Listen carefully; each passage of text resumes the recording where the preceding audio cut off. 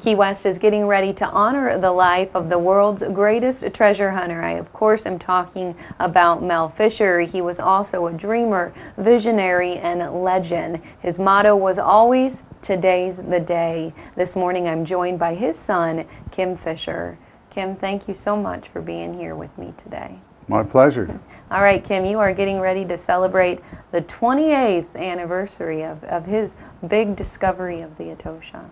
That's right. It's uh, it was 28 years ago on July 20th that uh, my father accomplished his dream. Mm -hmm. uh, mm-hmm. you know, most men have lots of dreams, but uh, he actually accomplished his while he was still alive. And after 17 years of looking, uh, found the Atocha. Mm -hmm. After 17 years of hearing him say, "Today's the day," right? That's right. Yeah, every day. You'll never forget that day, I'm sure, either when when that happened. No, it was it was an uh, incredible thrill. Uh, at first, it was uh, kind of uh, hard to believe. Mm -hmm. It's like you know, I'd spent most of my life looking for this wreck, and mm -hmm. and now all of a sudden there it was. So it's mm-hmm. like well, now what do we do?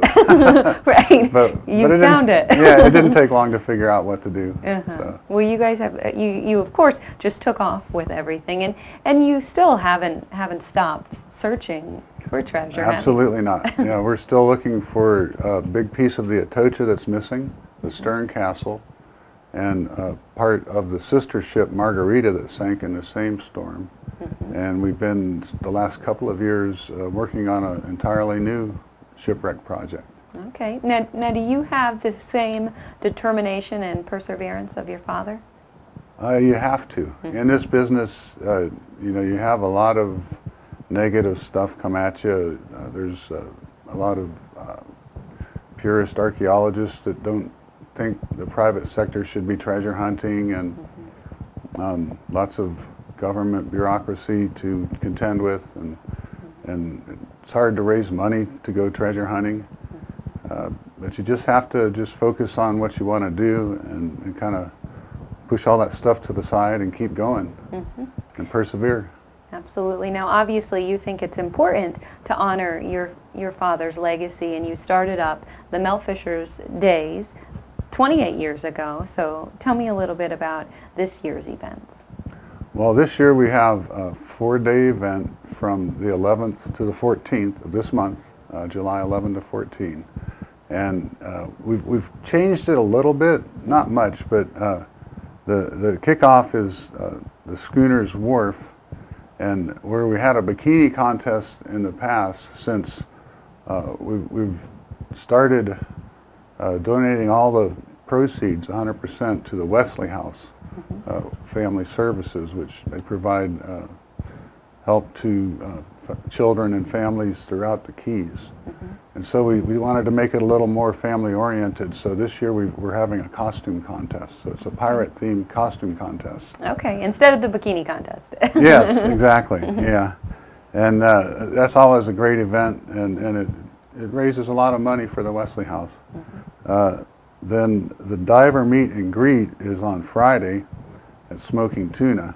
And uh, that's, that's always good because uh, a lot of the divers, even from 28 years ago, it's kind of like a reunion. Mm -hmm. They all come back and, and, and, sit around the bar and, and, and talk about the old times. And, and, a lot of people like to come and hear those stories. Oh, I'm sure. So that's uh, a kind of a reminiscing party. Mm -hmm.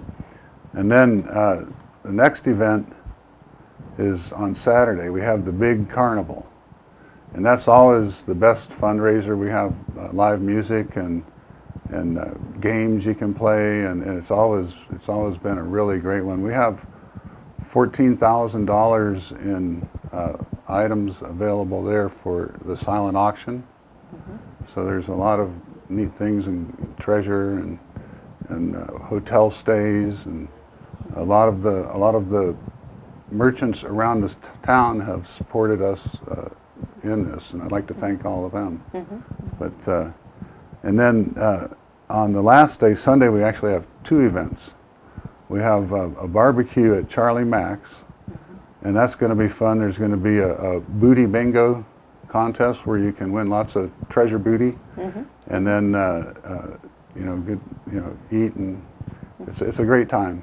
Great. Well, you have lots of activities going on during those four days. And of course, for a complete listing, people can just check out the website and see the schedule Yeah, on Mel, the website. melfisher.com, and then there's a button for Mel Fisher Days. All And it has all the details. Great. Now, I have to ask you before we go this morning do you have a favorite memory of your father, Kim?